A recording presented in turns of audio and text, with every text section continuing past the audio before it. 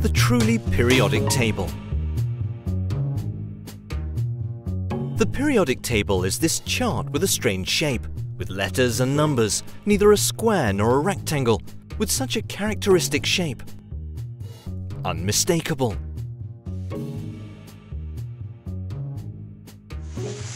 Some people know what each of these letters represent. C is the chemical symbol for carbon. O is the chemical symbol for oxygen. The chemical symbol for iron is Fe. Zn is zinc. There are even those who know the chemical symbol for sodium is Na, because it comes from the Latin natrium. Or that the chemical symbol for gold is Au, because in Latin it was called aurus.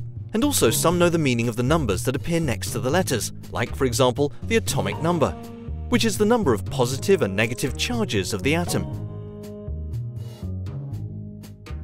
But what exactly is the periodic table? The periodic table is a chart that represents all 118 chemical elements that constitute the known universe. Everything around us is made up of at least one of these elements. 94 of these elements can be found in nature. The rest were obtained in laboratories. 118 elements may seem too little for an entire universe, but it's not. Let's see. In stars like the Sun, 94% of all the atoms are hydrogen. The human body itself is very scarce on chemical elements. For every 100 kilos of weight, 65 kilos are oxygen atoms, 18 kilos are carbon atoms, and 10 kilos are hydrogen atoms, which leaves little room for all the other essential elements. Nitrogen, calcium, phosphorus, potassium, sulfur, chlorine, sodium, magnesium, iron, cobalt, copper, zinc, iodine, selenium, fluorine.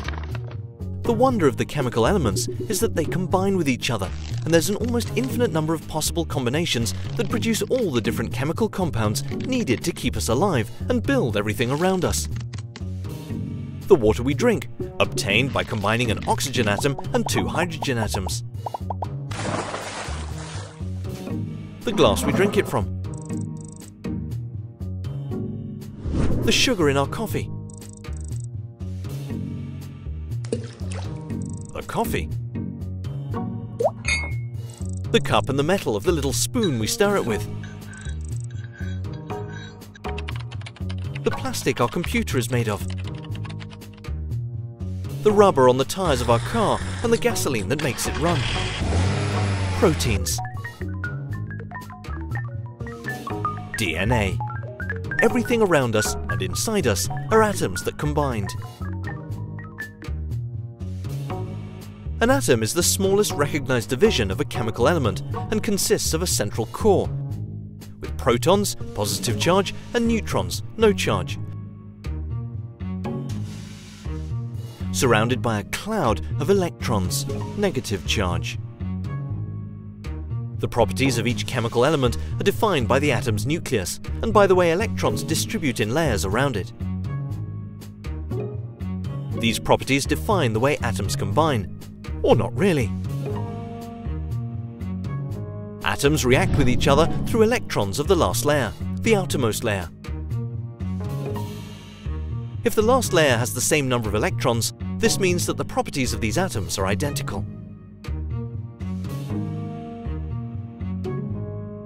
The distribution of the elements in the lines and columns of the periodic table is not random, or just a question of design.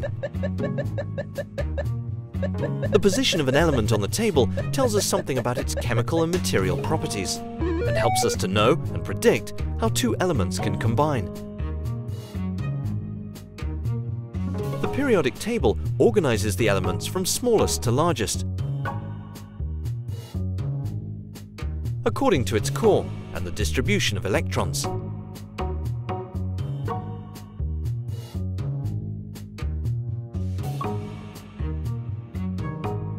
In the first column of the table, we have the elements that have a single electron in the outer layer.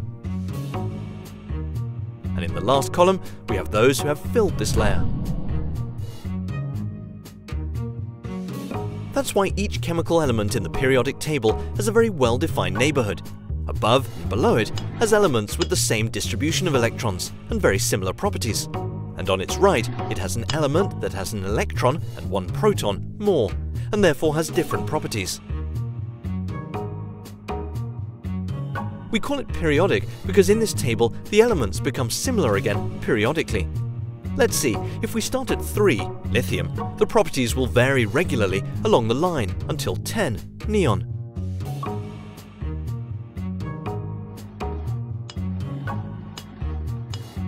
Here, the last layer of electrons gets full, and we move on to the next line and back to the first column.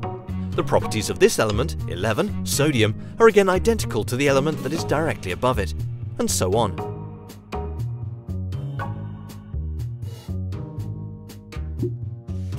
The tricky part is that the number of electrons filling one layer varies, and their distribution follows well-defined rules of quantum chemistry.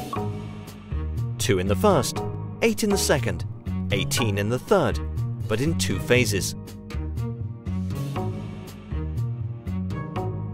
Which makes it necessary to distribute the chemical elements in the table in such a weird way. But in the end, everything makes sense, and we have the whole universe in a single table.